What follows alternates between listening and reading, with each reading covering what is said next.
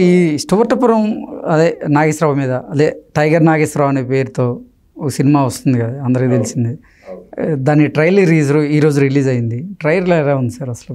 నాగేశ్వరరావు చేసినటువంటి దోపిడీలు jail breaks అవన్నీ కనిపించినాయి. అలాగే అతనిలో ఉన్నటువంటి ఒక హ్యూమన్ ఇంట్రెస్టింగ్ కోణం ఒకటి ఉంది.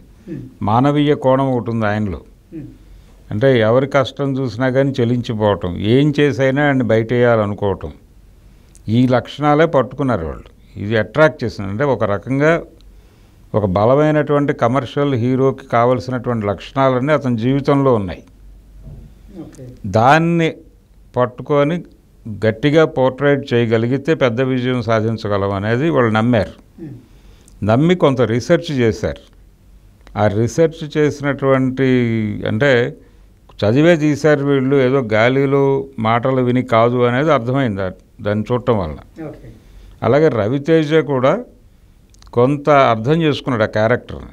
ఆ క్యారెక్టర్ని అర్థం చేసుకున్న తనం కనిపించింది దీన్ని కానీ చాలా కమర్షియల్ హంగులు ఉన్నాయి ఆ సినిమా. అంటే ఆయన జీవితంలోనే ఉన్నాయి. రెండోది దీనిలో ఒక ఒక రకమైనటువంటి క్లాస్ వార్ ఉంది. క్యాస్ట్ వార్ అది. కానీ క్లాస్ వార్గా కనిపిస్తుంది అంతే. ఆ ఘర్షణ కూడా ఉంది. ఓకే. ట్రైలర్లో ఏదో ట్రైన్లో పోతూ ఉంటే జాతీయ స్థాయి నేతలు ఏదో ఆ ట్రైన్లో ప్రయాణించేలాగా దానికి ఏదో స్కెచ్ చేసేలాగా ట్రైలర్లో కొన్ని సీ సన్నివేశాలు ఉన్నాయి. అంటే ఏంటి అసలు? అంటే జాతీయ స్థాయి నేతలతో ఇతనికి ఏమైనా సంబంధాలు ఉన్నాయా లేదా ఏం సంబంధాలు లేవు. అంటే ఈయన రకరకాల పద్ధతుల్లో దొంగతనాలు మాత్రమే చేసేవాడు. ఎవరితోనూ డీల్స్ మాట్లాడటం ఈ గొడవలో ఎప్పుడూ లేడు ఆయన.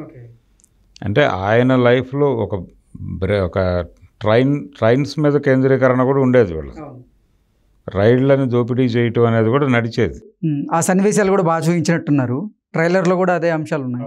అంటే రైళ్ళు రైళ్ళు ఆపేసి అది కూడా బంగారమే. మెళ్ళల్లో ఉన్న నగలు ఇచ్చేసేయండి. అది ఇచ్చేస్తే మీకు ఏ రకమైన ఇబ్బంది ఉండదు మేము వెళ్ళిపోతాం. అంటే జనాలు కూడా దోచుకునే వాళ్ళ? అంటే నేను ఎందుకు ఈ ప్రశ్న అడుగుతున్నా అంటే సార్ ఆయన బ్యాంకుల దగ్గర దోచుకున్నది జనాలకి ఇస్తాం. ఓకే. అంటే జనాల దగ్గర దోచుకొని కూడా అంటే ఉన్న వాళ్ళ దగ్గర లే- దోచుకొని లేని వాళ్ళకి ఇచ్చేవాళ్ళ? ఎలా ఉండేది? ఆయనకు ఆయన ఆయన కమ్యూనిస్ట్ కాదు. అంటే దోచుకుని ఇవ్వాలి అనే ప్రోగ్రాం ఉన్నవాడేం కాదు ఆయన. జనరల్గా దొంగతనాన్ని వృత్తిగా తీసుకున్నారు వాళ్ళు. ఎక్కడ సంపద ఉంటే అక్కడ దోచుకునేవాళ్ళు. ఓకే. అది రకరకాలుగా వెళ్ళిపోయేది. ఇప్పుడు వాళ్ళు ఒక కిలో బంగారం దొంగతనం చేస్తే పోలీసు వాళ్ళకి కొంత ఇచ్చేవాళ్ళు. కోర్టుల్లో కొంత పోయేది జైలు దగ్గర కొంత పోయేది. ఇలా వీళ్ళ జీవితంలో చాలా పోగొట్టుకుని ఆ మిగిలిపోయింది కూడా ఎవరికొకడికి ఇచ్చేసేవాడు ఆయన.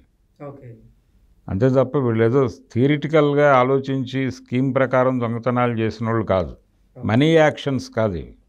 ఇవి పూర్తి స్థాయి దొంగతనాలే. అంటే కమ్యూనిస్టులు కూడా చేస్తారు. వాటికి మనీ యాక్షన్ అని ఒక పేరు ఉంటుంది ఇది మనీ యాక్షన్ కాదు ఇది దొంగతనమే. ఈ దొంగతనాలు ఎవరి దగ్గరైనా చేయొచ్చు.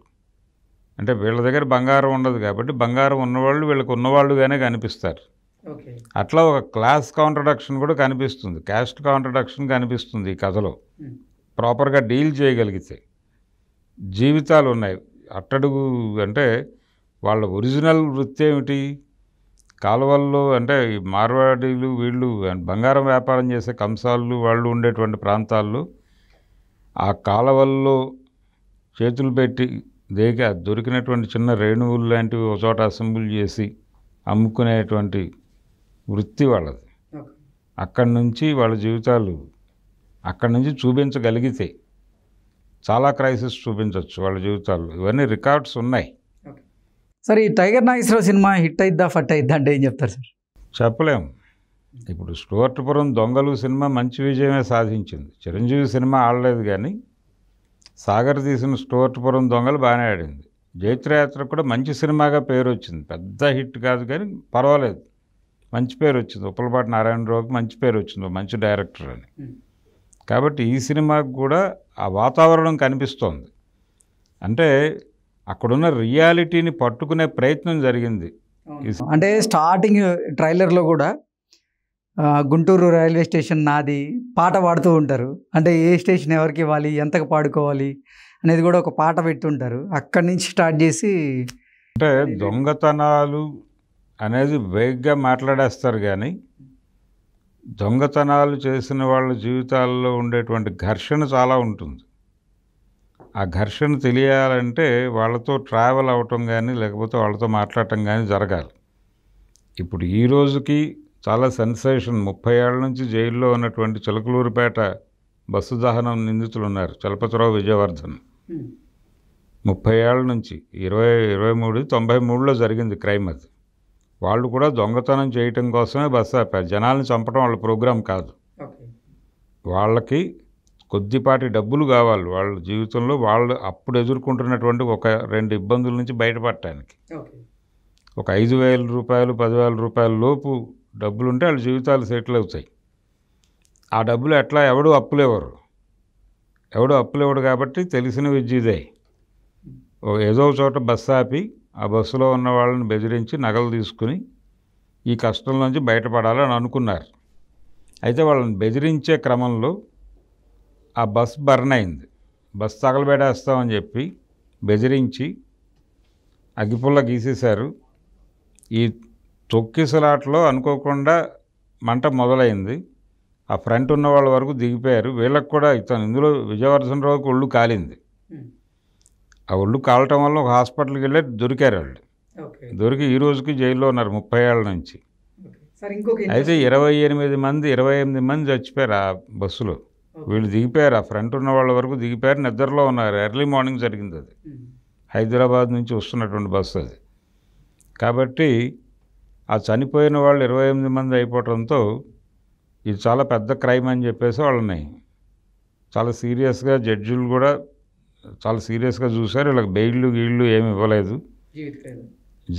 ఉరిశిక్ష పడింది. ఉరిశిక్ష నుంచి కేఆర్ నారాయణన్ రాష్ట్రపతిగా ఉండగా లైఫ్కి మార్చాడు.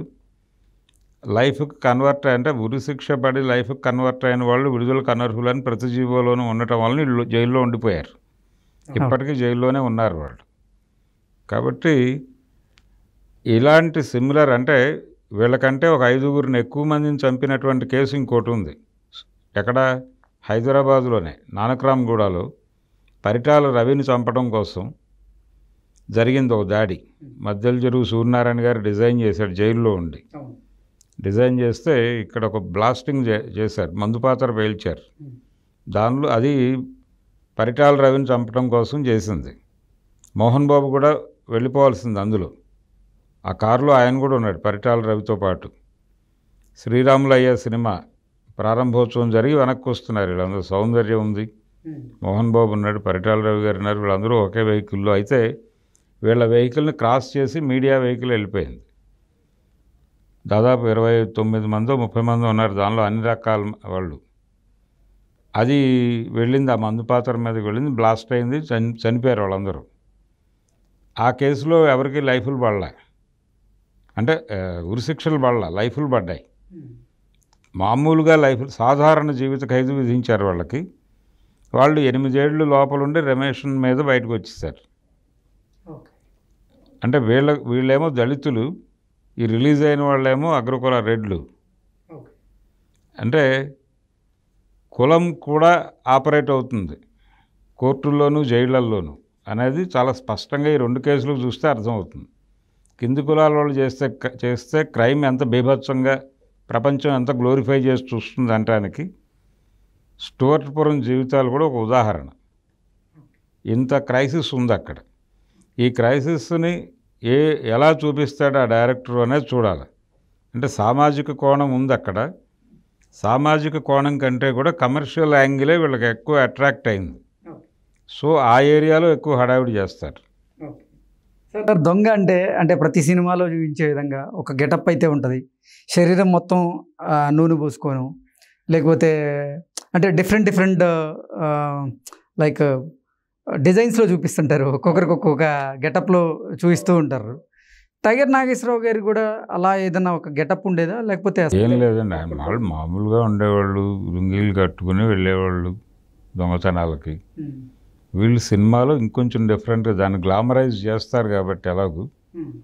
ఆ గ్లామరైజ్డ్ వెర్షనే మనం చూడబోతున్నాం అప్పుడు. అంటే అట్లా దొంగతనానికి వెళ్తే ఆ రోజుల్లో గుర్తుపట్టరా సార్? మరి టైగర్ నాగేశ్వరరావు ఉన్నారు గుర్తుపట్టడం ఏముంది? ఇప్పుడు వీళ్ళు కొత్త కొత్త ఏరియా తమిళనాడు వెళ్ళిపోయి చేస్తారు. వీళ్ళ ఊర్లో కాదు కదా చీరాల్లో కాదు కదా. ఎక్కడో చేస్తారు అంతర్రాష్ట్రాలు. అక్కడికి వెళ్ళి దొంగతనం చేసేటప్పుడు ఎవరు గుర్తుపడతారు వీళ్ళని? అంటే ఈ స్థాయి జాతీయ స్థాయి దొంగగా ఉన్నప్పుడు గుర్తుపట్టరంటారా? ఎలా పడతారు మీడియా లేదు కదా అప్పట్లో. సోషల్ మీడియా లేదు. మరోజు అతని ఫోటో కూడా ఎవరికి తెలిసే అవకాశం లేదు. అంటే దొంగతనం జరిగిన విధానం బట్టి ఎవరు చేశారో చెప్పగలిగేటువంటి జ్ఞానం పోలీస్ ఆఫీసర్లకు ఉండేది. దాంతో ట్రేస్ చేసేవాళ్ళు. బలానా ముఠా అయి ఉంటుంది అని. దాని మీద అంటే స్టువర్ట్పురం వాళ్ళు దొంగతనం చేశారని నిర్ధారణ అయితే రికవరీ ఎక్కడ దొరుకుతుందో కూడా కొంత తెలిసి ఉంటుంది ఎవరికి అమ్ముంటారు వీళ్ళు. అక్కడి నుంచి తవ్వకాలు మొదలవుతాయి. ఇలా దొంగల జీవితం అది. వీళ్ళు దొంగతనం చేసిన వెంటనే తీసుకెళ్ళి అమ్మేసేవాళ్ళ దొంగలు? అంటే డబ్బులు కావాలి కదా. డబ్బుల కోసం కదా దొంగతనం చేసేది. ఆ బంగారం తెచ్చి వాళ్ళకి తెలిసిన ఏరియాల్లో దాన్ని డిస్పోజ్ ఆఫ్ చేసి ఏదో ఒక రేటుకి ఈ దొంగ సొమ్ము కొనుక్కోవడం ద్వారా కోటీశ్వర్లైన బంగారపు వ్యాపారస్తులు అనేక మంది ఉన్నారు. వీళ్ళ మీద ఆధారపడి వీళ్ళ జీవితాలు నాశనం అయిపోతే వాడేమో వెలుగుతూ ఉంటాడు. ఇది వర్గ సమాజంలో ఉండే ఒక దుర్మార్గం. Okay sir thank you so much. Thank you అండి.